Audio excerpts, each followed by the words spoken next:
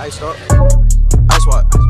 Whoa, whoa, baby, poke it out, poke it out, poke it out. Hey, what's up, everybody? Welcome back to the channel. So, before I get into this, and I know I probably already did a, an intro and sound like an idiot repeating myself, go ahead and do me a favor and click that subscribe button, boys. We've been doing great with growth here recently, so if you're new to the channel, go ahead, click that subscribe button. No need to be shy. Stick around. We're all community. We talk to each other. We do all that cool stuff. So go ahead and subscribe. Hit the notification bell. Do what do what you must.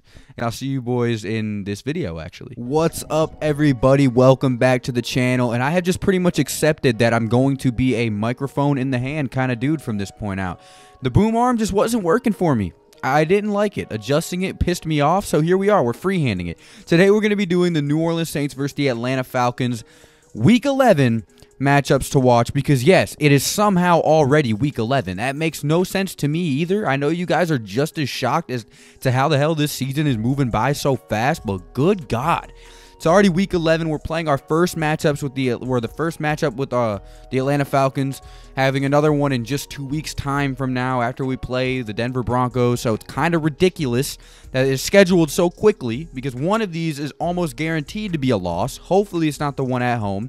Hopefully, we sweep Atlanta. I don't know. I'm just a fake sports analyst. So we're gonna get into today's into into today's video. It's gonna be a pretty interesting one. Um, they're not gonna be the the most common matchups because there's been a lot of shit that has hit the fan in this last couple of week period, time period, period. I don't understand why I do this. I'm so bad at talking. But yeah, we're doing the Saints Week 11 matchups to watch versus the Atlanta Falcons and.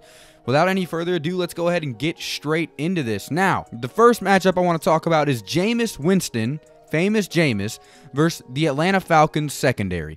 Here you have Jameis Winston, who is a jack of all trades. He can throw 30 touchdowns, he can throw 5,000 yards, he can throw 30 interceptions at will. He can do whatever he wants at any time he wants to do it. He can seriously be so good, but but so bad at the same time. But I do feel as if his 30 interception total last season is really overblown. Like, I understand the significance of it. If you throw 30 interceptions in any scenario, it's bad. But when you throw have to throw the ball 626 times in one season and have one of the worst offensive lines in the league and your running game sucks butthole so you have literally nothing to lean on, you're going to be more prone to throwing interceptions. They they asked this dude to throw the ball almost 700 times last year. And everybody's so shocked that my man threw 30 interceptions. Leave him alone, man. He has a lot to prove here. Not to mention, that was Jameis Winston's first year under Bruce Arians' system. Now, before you get, you sit here and say, dude, it's just a system. It's not going to make him throw throw interceptions. Let's go ahead and talk about the last time a great quarterback played in, in Bruce Arians' system. We got Carson Palmer for our example here. I know this has been said a million times, but those who haven't heard it, open your ears, man. So, so Carson Palmer's first year under Bruce Arians 24 touchdowns, 22 interceptions. That was his first year. He threw 24 touchdowns and 22 interceptions. But the thing with Bruce Arians' system is you get better over time in it you get used to the playbook because it's extremely deep. You get you get better equipped to do those risky plays that Bruce asks of you. So in, in, in, Carson Palmer's second year, he had 11 touchdowns and three interceptions through six games. Then in his third year, had 35 touchdowns and 11 interceptions. The thing is, Jameis Winston never got that chance. His first year in Bruce Arians systems, in Bruce Arians system, his interception total was higher than usual. He got booted and they picked up Tom Brady to replace him, who has thrown five interceptions against the Saints, seven on the year so far, and could be throwing a little bit more, which is pretty high for Brady. So it, it says a little bit here, you know? The reason for this is Bruce Arians' system's complexity.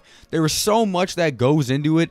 There's so much risk you have to take, dude. Jameis Winston was dealt a horrific, ha- a horrific hand and, and was set up to fail in this situation, in my opinion. Now, in 2020, you have a Jameis Winston who is capable of throwing 5,000 yards and 30 touchdowns, who has sat 10 games behind all time great veteran quarterback Drew Brees, being mentored every step of the way, cutting up in the locker room and, and forming relationships and serious chemistry with our players.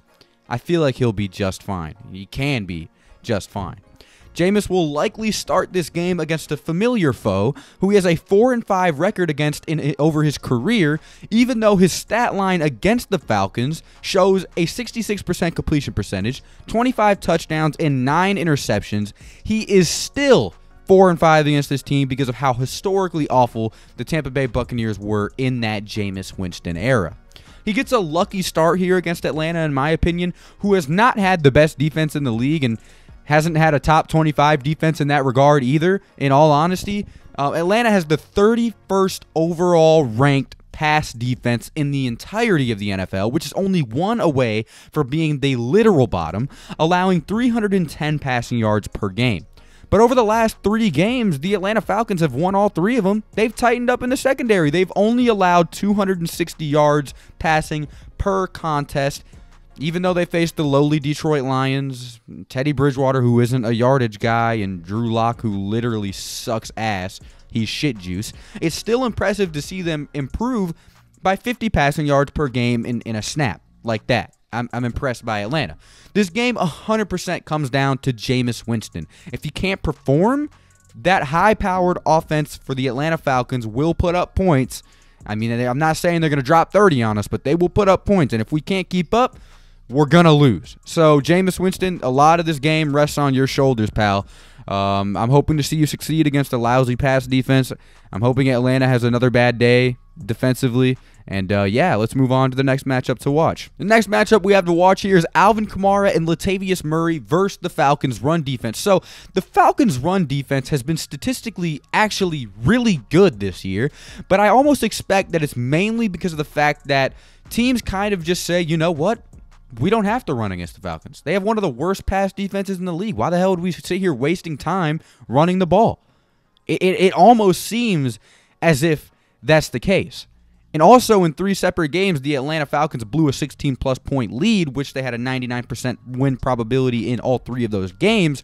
So they were playing, the other team was playing catch up and throwing the ball. So there are a lot of reasons why I don't trust the Atlanta Falcons' run defense being as good statistically as it is. The reason I say that is the Atlanta Falcons are allowing 99.7 rushing yards per game, which is actually the sixth lowest in the league.